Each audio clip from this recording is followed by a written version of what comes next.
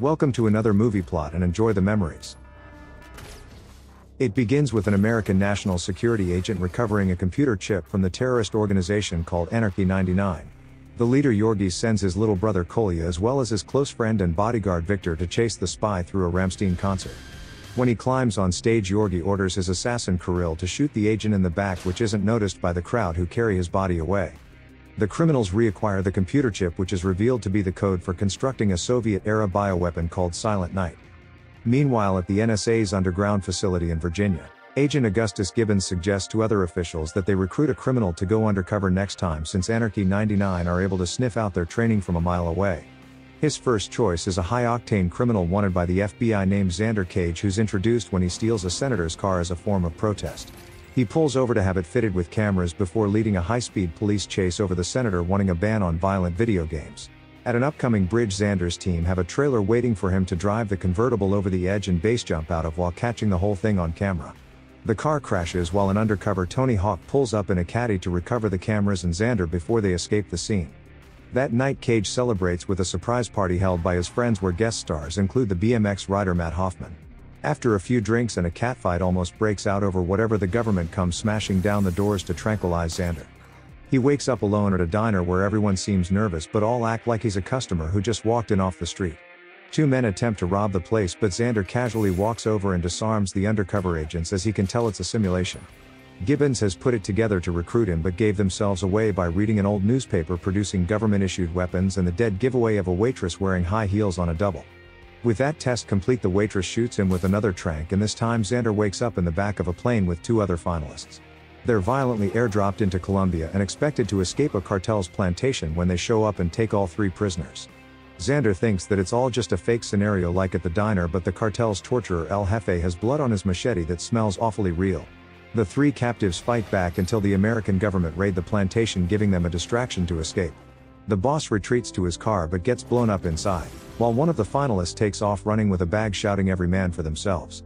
Xander tries to rescue the other but he's injured and needs to be left behind until Cage can find a vehicle. His choice is obviously a motorbike and he goes on a tear around the place avoiding the helicopter and jumping the bike over multiple ready-made ramps. The final jump sees the entire compound blow up and Xander barely manages to avoid it as he power slides into a drain. When he gets back to collect the other finalists Xander's recaptured by Gibbons's men, who the next morning congratulate him on graduating top of the class. He gives Cage the mission of gaining entry into Anarchy 99 and locate the chemical weapons before the terrorist group can launch it on America. Being that he's already got two strikes against him Xander accepts the job after Gibbons says that his only other option is life in prison. They send Cage to meet the NSA support team in Prague, whose agent Sova's been tasked with supervising and if necessary deporting Xander if he gets out of order.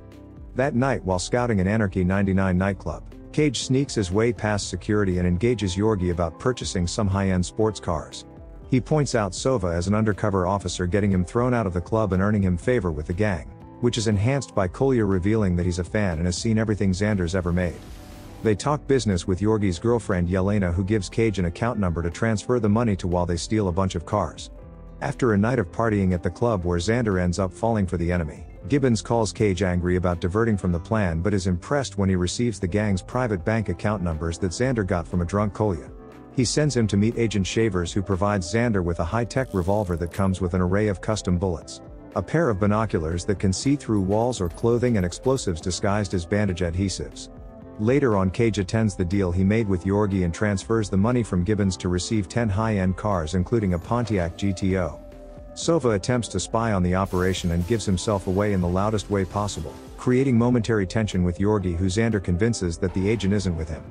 He does this by going out with Yorgi to hunt him down and when he's about to shoot him Xander intervenes using a dummy bullet to give the appearance that he's a killer. Having earned his trust Cage is accepted into Anarchy 99 and is taken back to the gang's headquarters at a castle in the mountains. While searching around for the chemical weapons he catches Yelena sneaking into Yorgi's hidden safe and confronts her on it. After a few failed attempts at pulling her gun and trying to lie her way out of it, she reveals that she's selling the gang's secrets to fund her escape. They go to a restaurant to discuss it further and he explains that he's a secret agent and that Sova was just shot with a paint dart but she doesn't believe him due to his appearance. During this time Sova betrays Cage revealing his true intention to Yorgi so he sends his assassin Kirill to take him out from the rooftop across the street. He calls Yelena to lure the traitor outside which proves to her Xander's identity as a US agent so she begs him for amnesty. She tells him that the castle has a secret laboratory beneath it and that Kirill's there to kill him, so Xander uses Yelena as a shield knowing that he would never harm her and begins to cause a riot. He takes a reflective serving tray to blind the sniper and escapes into the crowd by using it as a board to grind down a railing.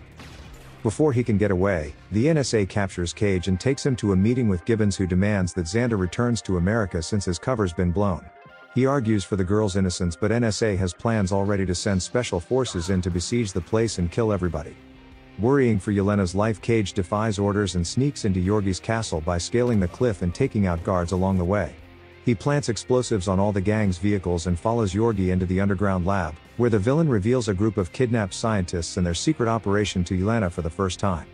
Cage uses his binoculars to peer inside where Yorgi explains his plan to launch the chemical weapon from a submarine drone called Ahab. When the construction of the vehicle is completed and the scientists celebrate, members of Anarchy 99 seal the entire room off and test the weapon's capabilities on the workers. Yelena watches on in horror as the chemicals kill everyone, before being vented through water returning it to a completely harmless state giving it the nickname Silent Night. In the tunnels guards discover Cage clinging to the ceiling and set off the alarm so he flees the area. Kolya gets ordered to kill his hero but as Xander takes a bike without the explosives the Russian unknowingly takes one prime to blow.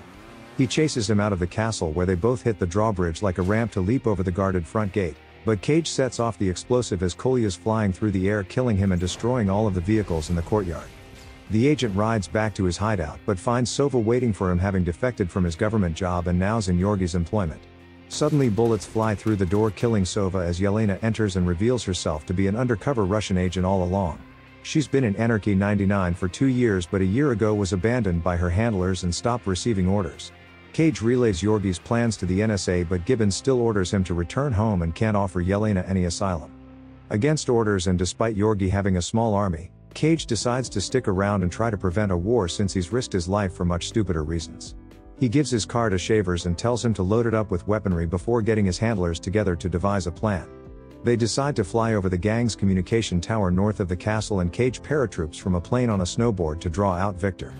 He takes a large group of anarchists but Cage causes an avalanche that wipes them all out except for Viktor initially, who like Xander outruns it back to the com tower but doesn't get enough height and is crushed inside. Surviving on the antenna, Xander still gets caught when more of Yorgi's men arrive on snowplows to take him back to their boss. He says that he always knew Yelena was an undercover agent which is why he never revealed to her too much information.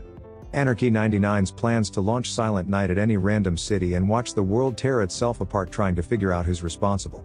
When the villain finishes his monologue and prepares to kill Xander, an explosion goes off as the NSA raid the castle after having an easy ambush with the gang's communications down. Yelena frees Xander from his restraints while Yorgi flees into the underground to launch Ahab and leaves behind his last henchman Kirill to protect him. The sniper waits in a perch shooting anybody who approaches while Yorgi programs Ahab to travel to the nearby Prague where he intends to set off the bomb. Pinned down and knowing that Kirill's always smoking, Xander uses a heat-seeking missile to kill the final henchman and the agents arrive to find Yorgi escaping on a boat. All these trained marksmen firing and it's Cage who manages to shoot the terrorist causing an injured Yorgi to crash into the upcoming cliff. Needing a way to catch up with Ahab, Xander and Yelena take the GTO that's now outfitted by Shavers with all of the bells and whistles he promised. They race alongside the river and Ahab but Yelena goes through the manual to find none of the bells and whistles are actually helpful. Meanwhile Gibbons orders an airstrike on Ahab which will still release the chemical killing some of the population but prevent it from reaching the city. Needing to disable the bomb manually Cage harpoons the drone and uses a parachute to zipline down to it before it goes under a bridge. Before he can do anything the vehicle deploys three rockets ready to fire the chemical as it travels further upriver towards the city. With the Air Force quickly approaching Xander directs the primary rocket into Ahab itself and disables the autopilot sending it plummeting underwater. It goes off destroying the rest of the rockets and the water neutralizes Silent Night just like Yorgi demonstrated. Agent Gibbons arrives to meet Yelena for the first time and they both think Xander died in the explosion until hearing him cough up water below the bridge. Agent Triple X recovers and the final scene shows him and Yelena relaxing in Bora Bora after Gibbons followed through on his promise. Needing the best agent for a new mission, he still contacts Xander to offer him the job but he just ignores the call to go swimming. And the movie ends.